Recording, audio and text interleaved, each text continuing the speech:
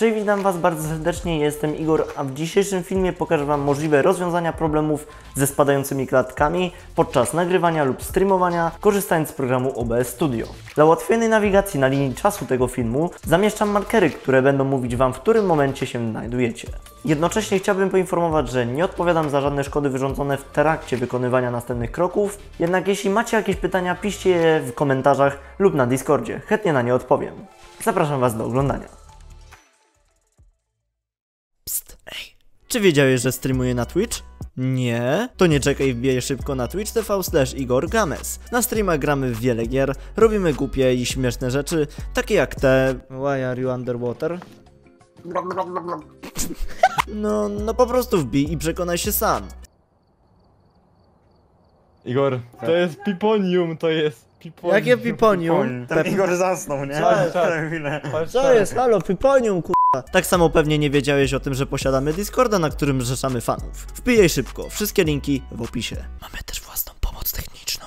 Zanim przejdziemy do rozwiązań, najpierw musimy określić, co powoduje spadające klatki. Aby to sprawdzić, wchodzimy do OBS-a, zakładka widok i statystyki. Podczas streamowania mogą wystąpić problemy przez sieć lub przez opóźnienia renderowania, enkodowania, a nagrywaniu tylko opóźnienia renderowania, enkodowania. Jeśli naszym problemem jest sieć, polecam zmniejszyć bitrate, w którym nadajemy, podłączyć się kablem do routera, zmienić serwer, na który nadajemy, czy poprosić domowników o to, aby przestali korzystać z internetu. Jeśli naszym problemem są opóźnienia renderowania, enkodowania, poniższe sposoby powinny pomóc.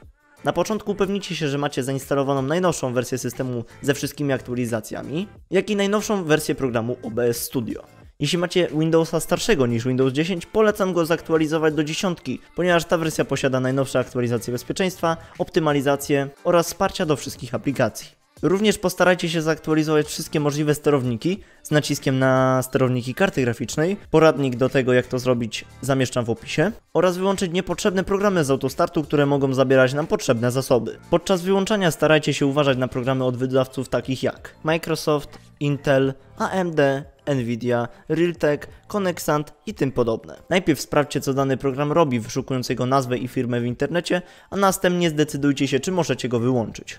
W systemach Windows 8, 8.1 i 10 zrobimy to wchodząc w menedżer zadań, więcej szczegółów i uruchamianie. I tu zaznaczając dany program i klikając wyłącz. W Windowsach starszych znajdziecie to w narzędziu msconfig zakładce uruchamianie. Po wykonanych czynnościach najlepiej uruchomić ponownie komputer, a w razie jakichś problemów start aplikacji można ponownie włączyć. Również tak dla pewności zalecałbym wykonać dobre skanowanie antywirusowe. Do tego dobrym zestawem programów będzie Malwarebytes Anti-Malware i Malwarebytes ADW Cleaner. Do opisu wrzucam poradniki do tych programów. Ten krok w większości przypadków powinien rozwiązać Wasz problem. Wystarczy uruchamiać program OBS z przywilejami administratora. Spowoduje to, że Wasz system powinien przydzielać więcej zasobów, gdy Wasza karta graficzna lub procesor są obciążone do granic przez grę, w którą gracie. Uruchamianie jako administrator można zautomatyzować, klikając prawym na ikonę OBS, następnej właściwości, zgodność i zaznaczając uruchom ten program jako administrator. Następnymi potencjalnymi problemami mogą być sceny i ustawienia profili. Najprościej problem możemy zdiagnozować dodając nowy profil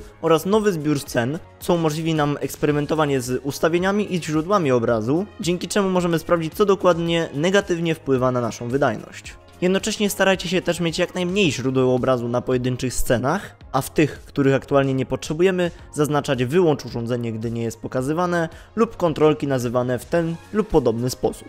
Również ustawienia samego programu mają bardzo duży wpływ na jakość i płynność streamowania i nagrywania. Jednak w tej chwili nie jestem dokładnie w stanie powiedzieć, jakie ustawienia będą dla Was najlepsze. Na teraz jedynie mogę Wam polecić lekturę forów wiedzy programu lub obejrzenie pełnych poradników, aby dowiedzieć się, co dane ustawienie robi. Bardzo polecam zagraniczny kanał IPOSVox, który posiada bardzo obszerną wiedzę na temat tego programu i jest w stanie wytłumaczyć Wam każdą opcję po kolei. Jeśli nagrania lub streamy nadal klatkują, polecam zmniejszyć ustawienia graficzne w grach, oraz przede wszystkim ograniczyć klatki do częstotliwości odświeżania waszego monitora lub włączyć opcję VSync, jeśli gra nie umożliwia ograniczenia klatek. Jednak ta opcja może sprawić, że gra będzie wydawała nam się mniej płynna. To wszystko powinno uwolnić nieco zasobów, które OBS będzie mógł wykorzystać. Jeżeli żadne z powyższych rozwiązań nie pomogło, nadal macie kilka opcji. Zacznijcie od przeinstalowania OBS. Powinno to naprawić zepsute pliki lub dziwne konfiguracje profili i tym podobnych. Jeśli to nie pomoże, zastanówcie się nad czystą instalacją swojego systemu operacyjnego. Wyczyści go z zalegających na dysku śmieci i tym podobnych, co powinno podnieść ogólną wydajność komputera. Tylko nie zapomnijcie zrobić kopii zapasowej. Jeśli nic z tego filmu nie pomogło, a ty nie wiesz już co robić, może pomyśl nad wyczyszczeniem swojego komputera z kurzu i wymienieniem starej pasty termoprzewodzącej. Tylko bądźcie ostrożni podczas tych procesów. Również zastanów się, czy twój komputer jest wystarczająco mocny. Zazwyczaj komputer z procesorami co najmniej i5 lub Ryzen 5, kartami graficznymi GTX z serii 900 i wyżej czy RX 500 i wyżej, połączony z 8, a najlepiej 16 GB RAMu i dyskiem SSD, powinien dać radę w mniej lub bardziej wymagających tytułach, jednak nie mówię, że słabsza konfiguracja również sobie nie da rady. Ostatecznie napisz na forum OBS, ponieważ tam najszybciej dostaniesz bardziej profesjonalną pomoc lub ewentualnie poczekać do następnego wydania programu, jednak ostrzegam, że możesz sobie poczekać bardzo długo. W każdym razie to chyba każde znane mi dotychczas rozwiązanie problemu spadających klatek. Piszcie w komentarzach, czy udało mi się Wam pomóc, a jeśli sami macie jakieś niewymienione w tym filmie rozwiązania lub po prostu sugestie czy pytania, piszcie je w komentarzach lub na kanale Pomocy Technicznej na Discordzie. Chętnie je poczytam i postaram się na nie odpowiedzieć. Zapraszam Was również do zasubskrybowania tego kanału, zostawienia łapki w górę pod tym filmem i odwiedzenia linku w opisie. W takim razie ja się będę z Wami żegnał. Do zobaczenia. Trzymajcie się. Cześć.